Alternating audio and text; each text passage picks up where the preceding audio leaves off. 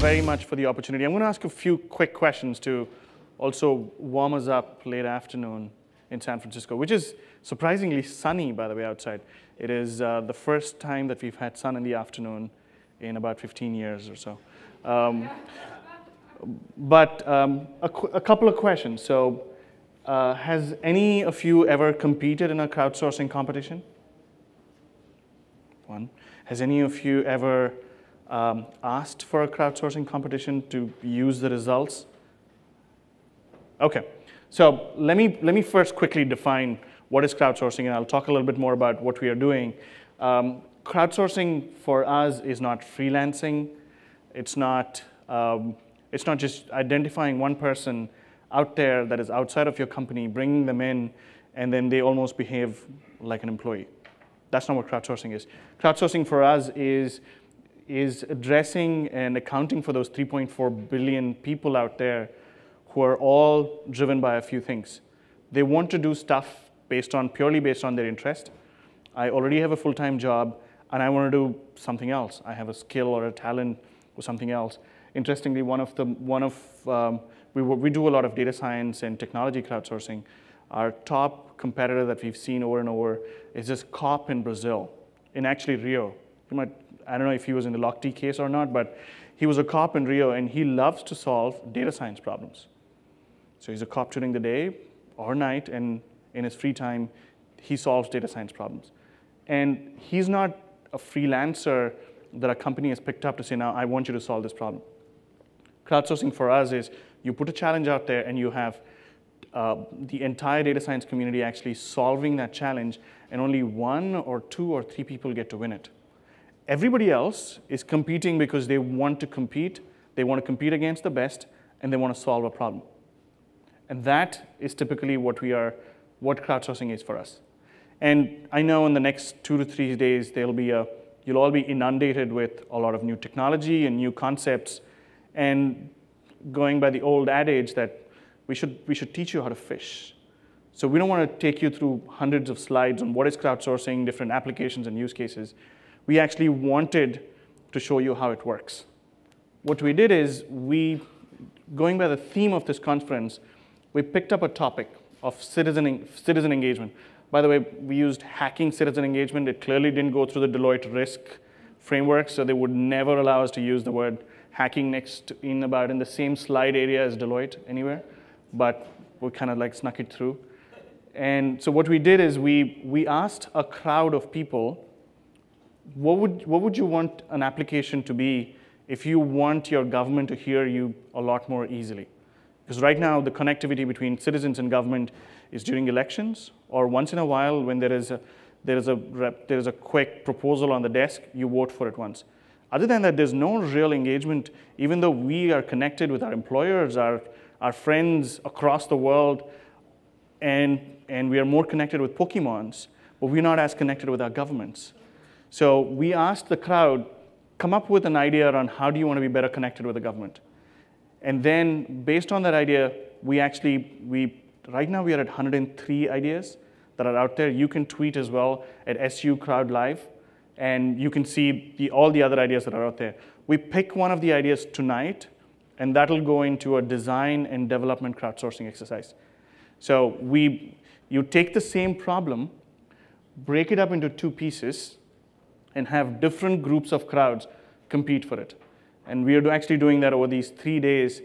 We are finishing the first part today, and the second part actually goes into, into a design challenge. They take the idea, they come up with wireframes, they come up with mock-ups, and then we'll present the final, final designs on day two, on Tuesday. So you, the entire process of coming up with ideas and coming up with designs and actually executing on those designs will happen in three days.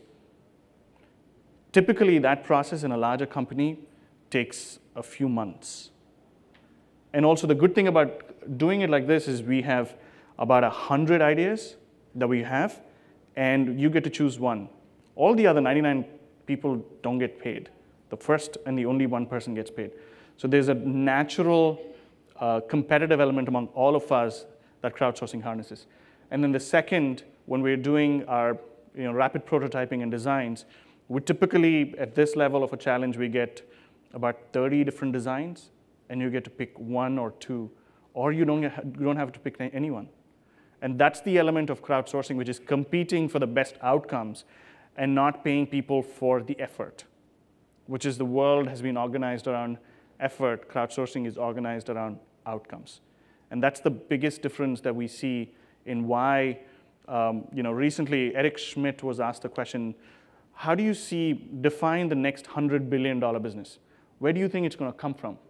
And he had a pretty quick answer. He said, the next $100 billion business will come from the intersection of machine learning and crowdsourcing, which is the ability for the billions of the people to contribute their ideas, um, their perspectives, their data, and then an artificial intelligence or a machine learning actually mining that and coming up with, coming up with value.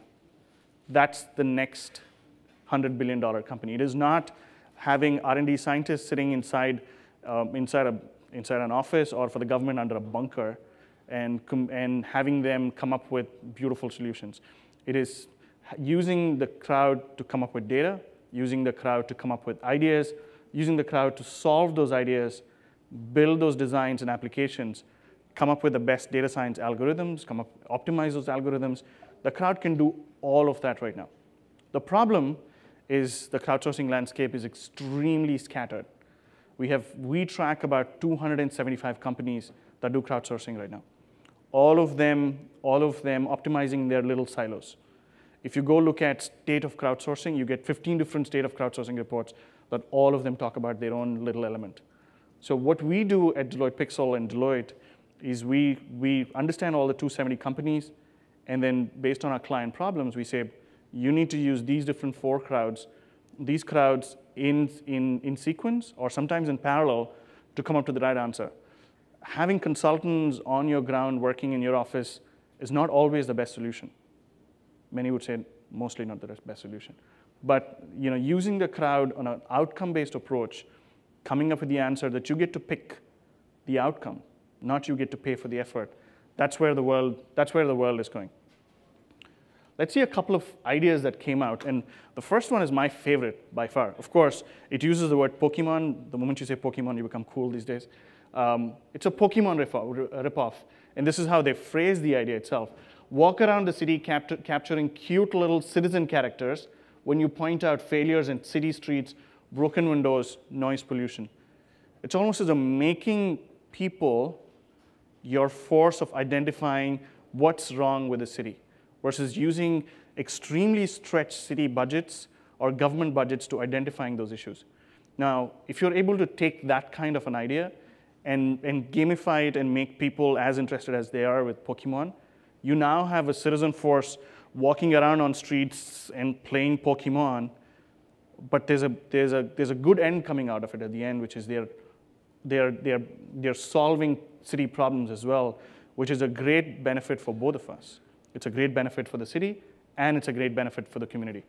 Now, thinking about these types of ideas of how to use the crowd in a way that they're having a lot of fun and the city is getting something back.